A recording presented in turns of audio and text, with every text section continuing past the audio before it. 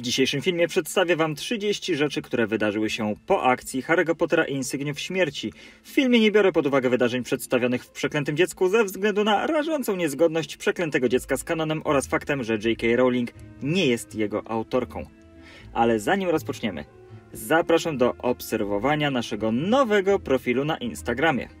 Harry Potter Uniwersum to miejsce, w którym znajdziecie potwierdzone ciekawostki i informacje znacznie rozszerzające uniwersum Harry'ego Pottera znane z książek i filmów oraz przedstawiające alternatywne wersje niektórych wydarzeń czy rozdziałów. Możesz poszukiwać tych ciekawostek w całym internecie lub zaobserwować zaledwie jeden profil na Instagramie. Wybór należy do Ciebie. A teraz zapraszam na przegląd 30 informacji na temat tego, co wydarzyło się po akcji Harry'ego Pottera Insygniów Śmierci. Po bitwie o Hogwart ministrem magii został Kingsley Shacklebolt. Nowy minister od razu zaproponował posady Haremu, Ronowi, Hermionie i Neville'owi. Hermiona jako jedyna odmówiła, ponieważ najpierw chciała ukończyć Hogwart. Voldemort przybrał po śmierci postać tego czegoś, co Harry spotkał na King's Cross, uwięziony pomiędzy światami, skazany na wieczne potępienie. Po śmierci Voldemorta Harry utracił dar rozmawiania z wężami. Harry, Ron i Neville zostali aurorami. Ostatecznie z tej trójki na stanowisku pozostał jedynie Harry, który wkrótce stał się szefem biura aurorów. Ministerstwo pod nowymi rządami zostało oczyszczone z korupcji, a śmierciożercy zostali osądzeni i skazani. Dementorzy zostali usunięci z Azkabanu. Od tej pory więźniów strzegą aurorzy. Dolores Umbridge nie uniknęła kary. Za swoje przewiny trafiła do Azkabanu. Malfoyom się upiekło. Za przejście na dobrą stronę jeszcze przed upadkiem Voldemorta, ministerstwo odstąpiło od wymierzenia im kary. Po zapanowaniu porządku w czarodziejskim świecie, Ron i Neville zrezygnowali z pracy w Ministerstwie Magii. Ron dołączył do swojego brata George'a i razem prowadzili sklep z magicznymi dowcipami Weasleyów. Neville rozpoczął pracę w Hogwarcie na stanowisku nauczyciela zielarstwa. Harry, Ron i Hermiona trafili na karty z czekoladowych żab – Ron uznał to za największe osiągnięcie w swoim życiu. Po ukończeniu Hogwartu Hermiona podjęła pracę w ministerstwie. Najpierw pracowała w Departamencie Kontroli nad Magicznymi Stworzeniami, później w Departamencie Przestrzegania Prawa Czarodziejów. Ginny została profesjonalną zawodniczką Quidditcha. Przez lata grała w zespole Harpies Holyhead, by jako gwiazda przejść na emeryturę i zostać starszym korespondentem Quidditcha dla proroka codziennego.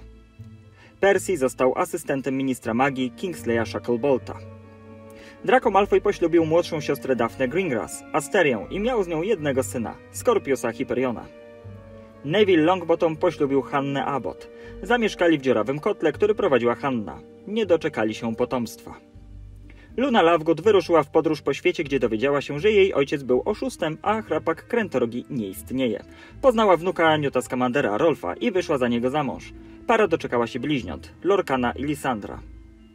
George poślubił Angelinę, byłą dziewczynę Freda. Zbudowali zgodne i trwałe małżeństwo. Doczekali się dwójki dzieci, Freda i Roxanne. Percy poślubił nieznaną z uniwersum Audrey, z którą ma dwie córki, Molly i Lucy. Bill i Claire doczekali się trójki dzieci, Victoire, Dominique i Louisa. W epilogu Teddy Lupin całuje się właśnie z Victoire, najstarszą córką Billa i Flair. Tediego Lupina wychowywała babka, Andromeda Tonks. Wakacje spędzał z Harrym oraz przyjaciółmi z zakonu Feniksa. Chłopak jest metamorfomagiem, tak jak jego matka.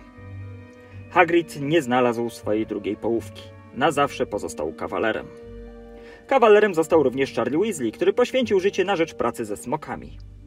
Wiktor Krum ożenił się z bułgarską dziewczyną. W 2014 roku zwyciężył z Bułgarią w Mistrzostwach Świata w Quidditchu. Ron i Hermiona mieli spore problemy w małżeństwie, któremu groził rozpad. Na szczęście terapia pomogła im uporać się z nimi. Harry i Dudley pozostali w kontakcie. Wysyłali sobie kartki świąteczne i sporadycznie spotykali, co wybitnie nie podobało się dzieciom Harego, które potwornie się nudziły u swojego mugolskiego wujka. James Potter, najstarszy syn Harego, wykradł mapę Huncfotów z jego biurka. Gilderoy Lockhart nigdy nie odzyskał wspomnień i pełnej sprawności umysłowej. Kamień wskrzeszenia przepadł na zawsze. I na koniec jeszcze raz przypominam. Jeśli chcecie więcej ciekawostek z szerokiego uniwersum Harry'ego Pottera, koniecznie wpadnijcie na nasz nowy profil na Instagramie. Harry Potter Uniwersum czeka, aby powitać Cię informacjami, z których z pewnością niejedna Cię zaskoczy i pozwoli spojrzeć na magiczny świat Harry'ego Pottera z innej perspektywy. Bądź na bieżąco i obserwuj. Dajcie znać, jak podobał Wam się ten film. Jeśli znacie jeszcze jakieś inne ciekawostki dotyczące tego, co wydarzyło się po akcji Insygniów Śmierci, wpisujcie je w komentarzach. A jeśli nie chcecie przegapić kolejnych filmów poterowskich, koniecznie subskrybujcie ten kanał.